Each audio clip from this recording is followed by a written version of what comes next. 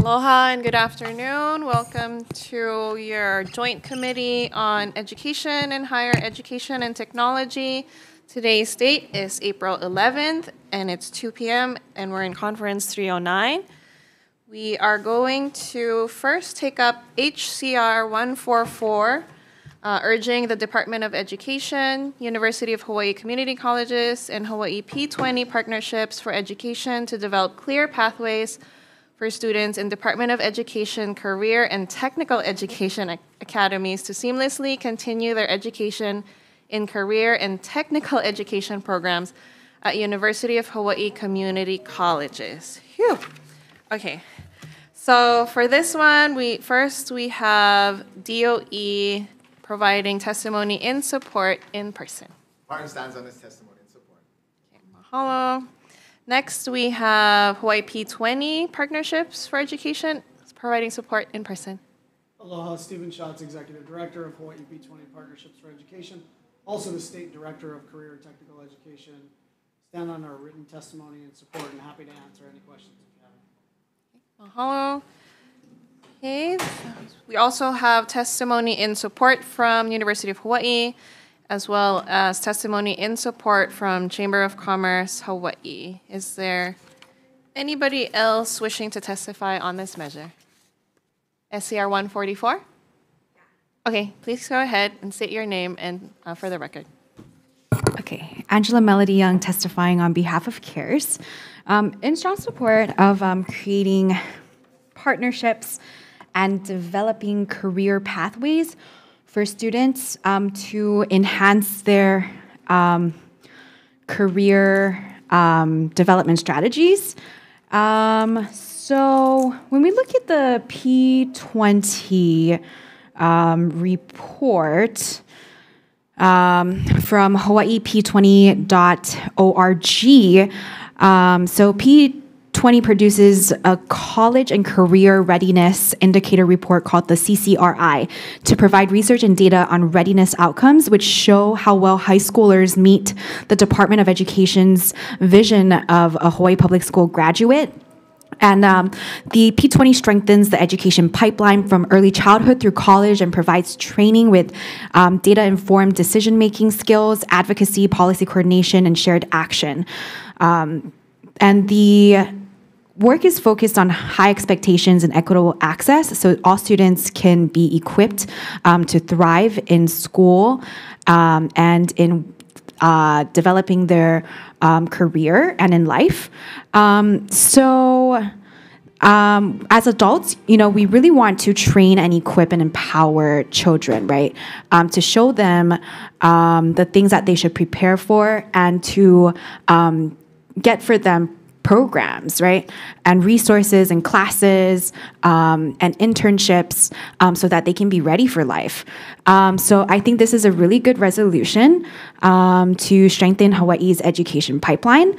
Um, yeah, and um, as adults and parents, um, we really want to um, create a brighter future for the next generation.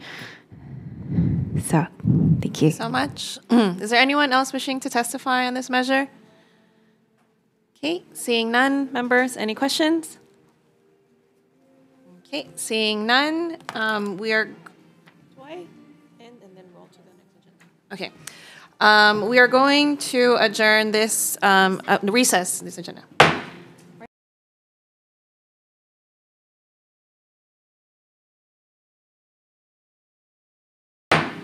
Okay, we are reconvening on the second agenda for the House Committee on Education. Um, today's April 11th for the 2:01 p.m. agenda. We are in conference room 309. And first up, we have SCR 142 urging the Department of Education to study the impact of teacher salary step movements on salary schedule compression. So first up, we have Department of Education providing comments. Good afternoon, Ken Kakisak with the Department of Education. We are um, standing on our testimony, providing comments, just that we have done a salary survey uh, as of January 20th, 2020. So just recently having done that, and that resulted in the teacher compression um, compensation. Um, we are thinking having another salary survey so soon would be um, might be a little premature. Also, it does come with a cost. So we're not necessarily opposed to it, but it is uh, at a price tag of $100,000. Nice, good music. But at a price tag of $100,000, um, it is something that would come at a cost as well. So if that is the desire for the, the committee to do, we would want to figure out maybe a way to cost share that with HSTA if they are also um, being involved in this, in this process as well. So thank you for the opportunity to testify. Thank you. Next up, we have Osa Tui with Hawaii State Teachers Association providing testimony in support. Aloha, Vice Chair La Chica, members of the committee, Osa Tui, President, Hawaii State Teachers Association. Uh, yes, they did a salary study January 2020. Since then, we had bargaining 2021 and bargaining 2023. And they said, oh, well, you know, we compression's been fixed. Congratulations. But nothing about the underlying structure has been fixed, and compression could come back again at any time. And we've already had to come to the legislature once and beg you folks, please fix this issue that's, you know, that's been a problem. We don't want to have to come back again. And they've not done anything in two bargains to make any changes to the salary schedule or do something that would address fixing compression in the future. And so if they need to do another salary schedule about how, or another salary study about how can we avoid compression, where the answer is not come back to the legislature and beg when you know it becomes a big problem, uh, I think that's important. So, uh, with regards to costs, uh, it is costing our keiki a lot by not getting this addressed, and so um, that's all I want to say about that. Thank you. Thank you so much. That's all the testifiers we have um, on this measure. Is there anyone else wishing to testify? Okay, seeing none. Members, questions? For the department? Hi. Hi. So, just out of curiosity, um, is it absolutely necessary to conduct another salary study to develop the analysis necessary to even contemplate this um, kind of measure? Because uh, we have been talking about it for a long time. This has been a longstanding conversation. So, why is it the department's position that you would need to do yet another salary study? So it is not the department's position that we need to do another salary uh, study. We're actually saying we don't think we need to do a, another one at this point. Okay. Yeah. Um, but yes, we do have a lot of data. uh, We have a lot of information. I am not, I'm, unfortunately, I'm not the uh, assistant superintendent of, of our talent management office, so I can get back to him on that. But I do believe we have enough information that we could start having that conversation. Okay, and then, um, you know, with respect to what the president of HSTA has said about um, this particular item on the table, um, is there a commitment from the department to have this conversation at the, at the table? I would have to double check. I, I wouldn't want to speak above um, my pay grade, so I wouldn't be able to respond to that. But I can get back to you on that. I would appreciate that. Okay. Thank you. Yep. Thank you, Chair. Okay, members, any other questions?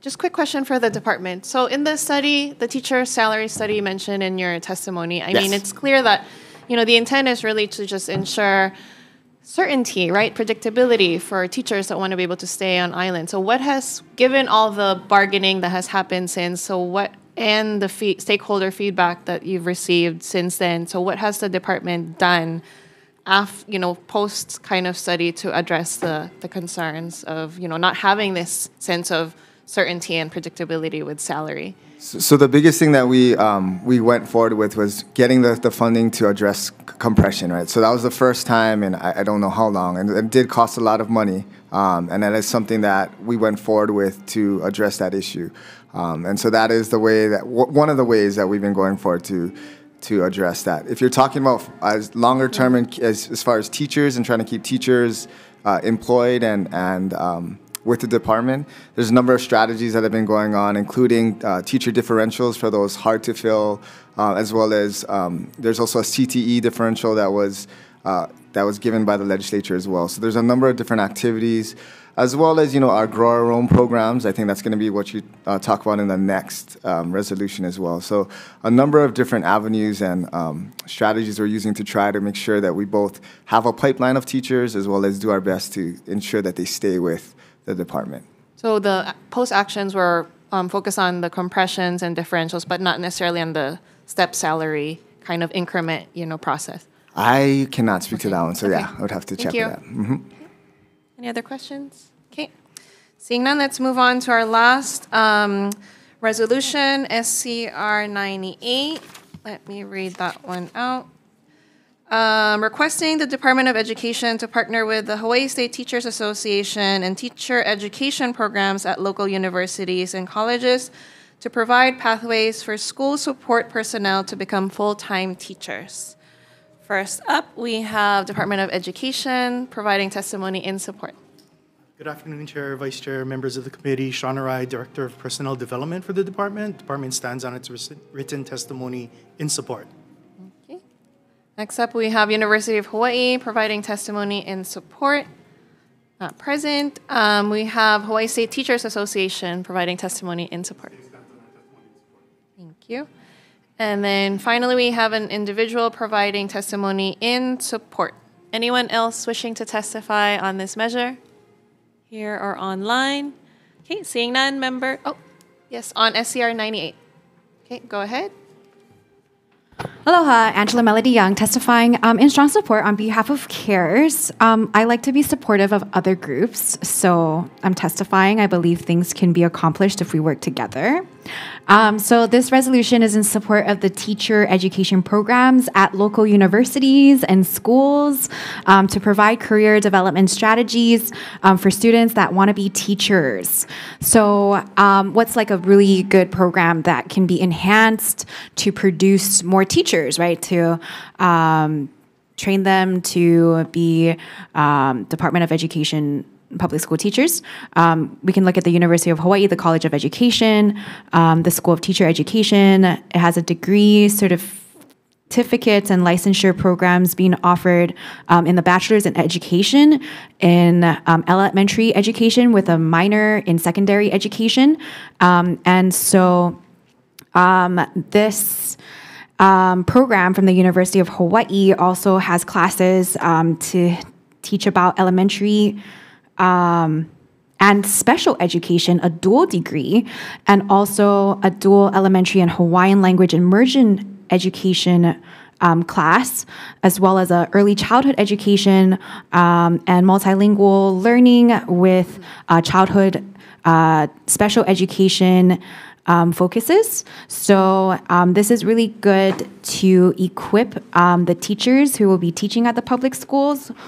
Um, and yeah, um, by creating the pathways and strengthening the partnerships with University of Hawaii, um, potentially, and also with HSTA and the Department of Education, um, if they work together, um, it will produce better classes and um, more internships and courses um, to help the students to become teachers who will create brighter futures. Yeah. Thank you. Anyone else wishing to testify on this measure? Kate, seeing none, members, questions? Go ahead. Uh, For the president of HSTA, please. So you mentioned in your testimony um, the uh, existence of tech, and, um, you know, are you saying that the DOE is not currently part of tech?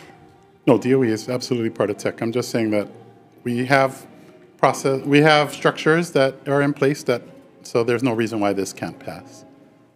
Because it's already being done in tech, right? Sort of, yes. Oh, How would it change the work that tech is doing? Uh, That one, we're working on the strategic, well, I don't, the strategic plan for tech is, is being uh, in process for the next couple of years. Like, Okay. There was a meeting today, and, um, sorry, I don't have the further details. Okay, so this work could be folded into, based, on- Possibly, into tech, absolutely. based on how so. You design your strategic plan? Okay, thank you. Thank you, Chair. Members, any other questions? Okay, seeing none, we are going to recess for decision making.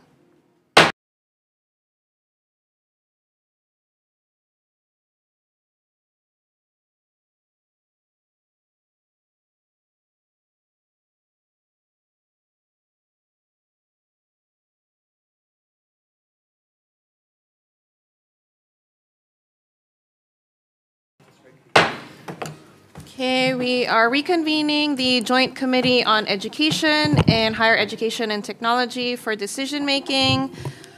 For the first resolution on the agenda, SCR 144, urging the Department of Education, University of Hawaii Community Colleges, and Hawaii P20 partnerships for education to develop clear pathways for students in Department of Education, Career and Technical Education Academies to seamlessly continue their education in career and technical education programs at University of Hawaii Community Colleges. We are going to pass this as is. Members, questions, comments, concerns? Okay, seeing none, Rep. Mizuno for the vote. For SCR 144, um, Vice Chair's recommendation is to pass as is. Um, Representative Woodson is excused. Representative La Chica. Aye. Representative Kapela. Aye. Representative Marten is excused. Representative Martinez. Representative Matayoshi. Excused. I vote aye. Representative Perruso. Aye. Representative Quinlan. Representative Todd. Representative Garcia. Vice Chair, your recommendation is adopted. Mahalo.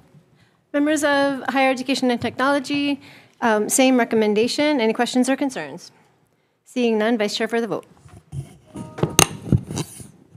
Sorry, we're, sh- we're sharing a mic. Um, uh, voting on SCR 144, Chair's recommendation is to pass unamended. Um, Chair and Vice Chair vote aye. Representative La Chica? Aye. Representative Marten is excused. Representative Martinez. Aye. Representative Matayoshi is excused. Representative Mizuno. Aye. Representative Quinlan. Aye. Representative Todd. Aye. Representative Woodson is excused. Representative Garcia. Chair, your recommendation is adopted. Okay, Thank you, members. We're going to go, um, we're going to adjourn the Joint Committee on Education and Higher Education and roll right into the Committee on Education, second agenda till 1 p.m. For the first measure, SCR 142, urging the Department of Education to study the impact of teacher salary step movements on salary schedule compression. We are going to pass this as is. Members, questions, comments, concerns? Okay, Seeing none, Rep. Mizuno for the vote. Vice Chair's recommendation is to pass as is for SCR 142 SD1, noting the absence of Representative Woodson, Matayoshi, and Marten. Any reservations or no's? Seeing none, your recommendation is adopted. Thank you. For our last measure, SCR 98 SD1, requesting the Department of Education to partner with the Hawaii State Teachers Association and teacher education programs at local universities and colleges to provide pathways for school support personnel to become full-time teachers. We are going to also pass this measure as is. Members, comments, questions, concerns? Seeing none, Rep. Mizuno for the vote. Voting on SCR 98 SD1, noting the absence of Representative Woodson, Marten, and Matayoshi. Any reservations or no's? Reservations. Reservations for Rep. Garcia. Any reservations or no's? Seeing none, your recommendation is adopted. Thank you so much. Members, we are adjourned.